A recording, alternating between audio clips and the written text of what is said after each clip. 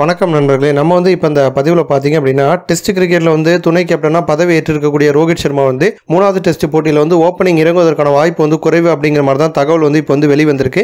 அதாவது வந்து ஆஸ்திரேலியா அணிக்கு எதிரான மூணாவது டெஸ்ட் போட்டி வந்து பெரிய ஒரு எதிர்பார்ப்பு வந்து ஏற்படுத்தியிருக்கு. ஏன்னா ரெண்டாவது டெஸ்ட் போட்டியில் இந்தியா வந்து அபாரமாக வந்து ஜெயிச்சிருக்காங்க.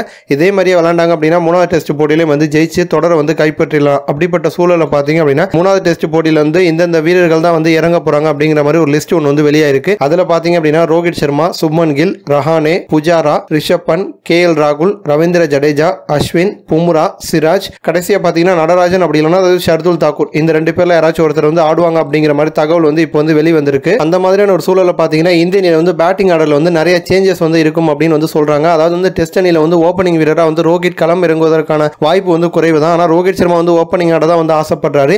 ஆனால் வந்து பயிற்சியாளர் வந்து வேற ஒரு திட்டம் ஒன்று வந்து போட்டிருக்காரு. ஓப்பனிங்காக பார்த்தீங்க அப்படின்னா கே எல் ராகுல் மற்றும் சுமன் கில் இவங்க ரெண்டு பேர் தான் ஓப்பனிங் வந்து ஆட போகிறாங்களா கே எல் ராகுலுக்கு வந்து ஓப்பனிங் ஆடின அனுபவம் வந்து டெஸ்ட் போட்டியில் அதிகமாக இருக்குது அதனால வந்து ராகுலுக்கு வந்து ஓப்பனராக ஆடுவதற்கான வாய்ப்பு வந்து கொடுக்குறாங்களா? அதன் பிறகு பார்த்தீங்கன்னா மூணாவது இடத்துல வந்து புஜாரா வந்து களமிறங்க வரான் நாலாவது இடத்துல வந்து ரோஹித் சர்மா வந்து களமிறக்கி விடலாம் அப்படின்னு வந்து திட்டம் போட்டிருக்காங்களாம். இப்போ அடுத்தடுத்த இடங்கள் அப்படின்னு பார்க்கும்போது ஐந்தாவது இடத்துல வந்து ரஹானே ஆறாவது இடத்துல வந்து ரிஷப் பந்த் ஏழாவது இடத்துல வந்து ஜடேஜா. இந்த மாதிரி தான் வந்து பேட்டிங் ஆர்டர் வந்து இருக்கும் அப்படிங்கிற மாதிரி தகவல் வந்து இப்போ வந்து வெளிவந்திருக்கு.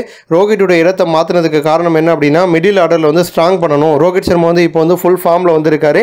அதேமாதிரி இளம் வீரர்கள் வந்து செம்ம துடிப்பாக வந்திருக்காங்க. அதனால் வந்து ஆஸ்திரேலிய மண்ணில் வந்து இளம் வீரர்களுக்கு வந்து ஓப்பனிங் வாய்ப்பு கொடுத்துட்டு அனுபவம் வாய்ந்த ரோஹித் சர்மா வந்து மிடில் மிடில் ஆர்டரில் வந்து களமிறக்கி விடலாம் அப்படிங்கிற மாதிரி பயிற்சியாளர் மற்றும் கேப்டன் ரெண்டு பேரும் வந்து முடிவு எடுத்திருக்காங்களாம் ஸோ இந்த ஒரு மாற்றம் வந்து நல்ல ஒன்று தானே அப்படின்னு உங்களுடைய கருத்தை வந்து கமெண்ட்டில் தெரியப்படுத்துங்க.